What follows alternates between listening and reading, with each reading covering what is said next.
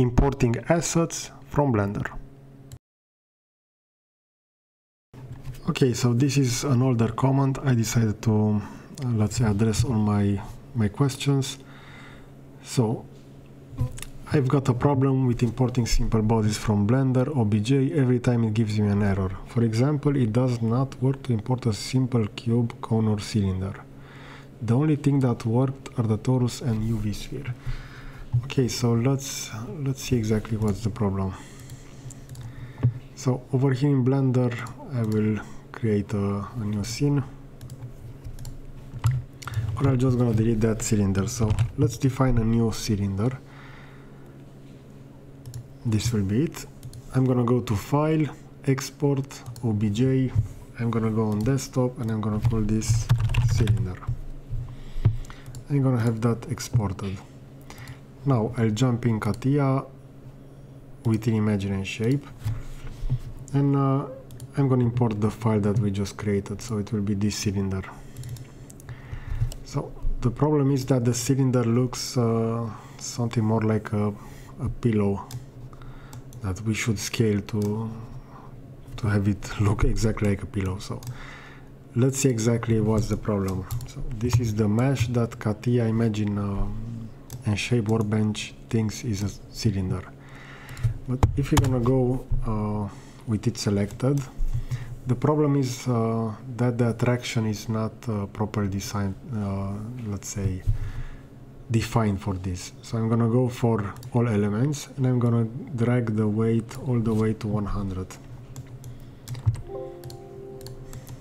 It will still look like this, so let me uh, do that again.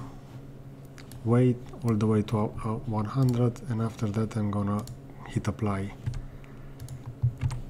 Okay, so now this will be my cylinder. Maybe in your case, since CATIA, let's say the settings if you work on something and you start the workbench again and uh, if you have set this sharp to smooth differently last time you use CATIA it will remain the same so maybe in your case you also have this uh, selected so what will that uh, give us will be this um, this roundness effect for uh, for the area where they will bend and we're gonna see that our shape will not be the cylinder that we we had we had in Blender.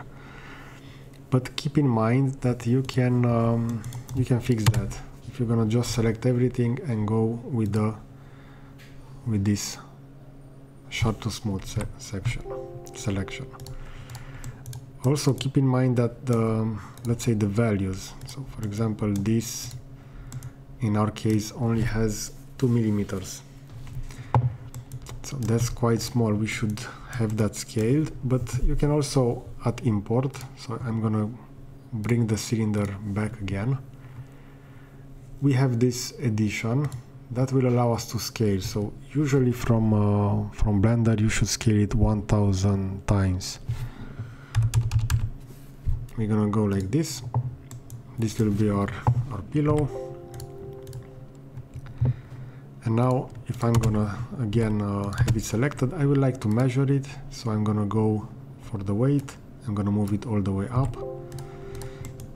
And now for the second one if I'm gonna measure it from the top face to the bottom we're gonna see that this will be uh, 2000 millimeters. So in Blender this has uh, that size. For for me it's set like this in meters. But uh, by default it will add one meter to the top one to the bottom. So it will be two. So keep in mind I need to scale it uh, two times.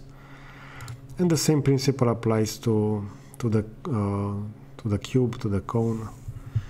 So let me know if uh, if this uh, this work for you and also fix your problem also if other um, others have uh, other questions please feel free to ask me and I will try to address them.